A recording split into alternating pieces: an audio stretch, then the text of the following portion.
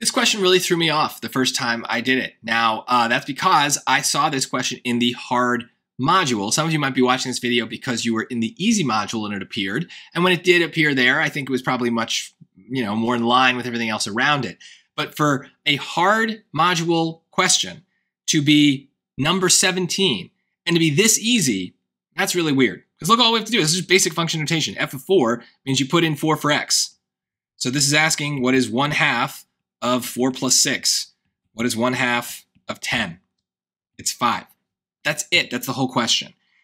And that really scared me because hard questions are not supposed to be that easy on the SAT, and especially in the hard module and the hard section, the last half of that section. We, we really shouldn't have something that's easy. So I was like, am I misreading it? Is there something wrong? But this is maybe where my knowledge of the test itself really saved me because I know that on every module, every module on the SAT, there are two what they call pre-test questions. I sometimes call these experimental questions. They're they don't count for your score. The College Board is using you as a, a guinea pig uh, to test to test new questions. They they come up with an idea. They're like, we got to see if this is a good question or not. So let's give it to some people. It won't count for their score, but they'll do it among all the other questions that do count for their score. So we'll be able to see based on whether people are getting it right or wrong whether this is a question that is easy, is medium, is hard, is, is too hard, is got some sort of flaw in it. So they're doing experiments on you, basically. And they're doing it with two questions per module. And so there will always be two questions in your module that do not count, but they're not labeled. You don't know that. But because I know that those two questions exist, when I got to this, I was like, this has got to be one of the fake ones. There's no reason for this really easy question to be this late. And honestly, I don't think the real SAT would do this. I think if this were the real SAT, in this spot, you would have an equivalently hard question to whatever else is going on. So I don't love that they did this here. This this just strikes me as very strange. I don't I don't know what's what they were thinking.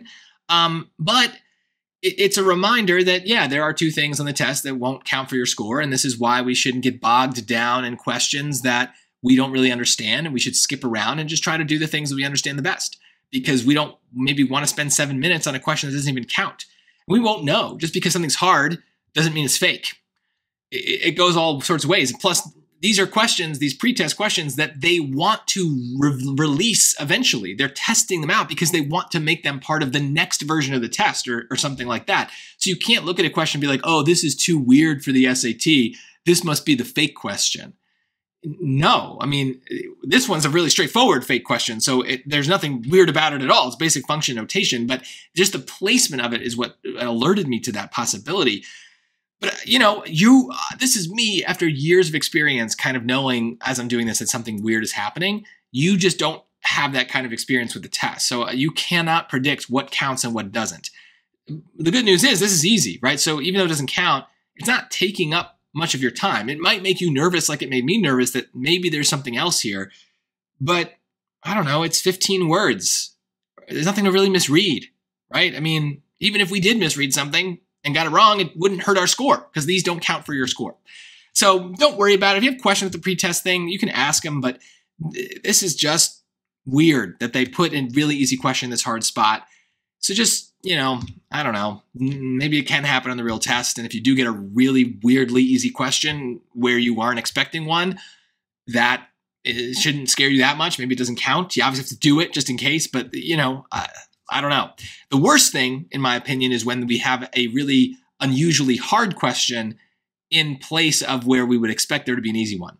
That bothers me because that could really slow us down. We aren't expecting to be slowed down. So that, you know, you got to watch out for too. But I hope they don't do that because that's not fair, in my opinion. So I don't know. I've gone on and on. This is an easy one. Hopefully, you got it. If you're in the easy module, then all this doesn't even matter because anything that you see in your module is fair game. So you got to make sure you're getting everything right. This is basic function notation. You got to know how to read function notation. So you're going to have that come up multiple times in your easy module. So hopefully, this one is also easy for you.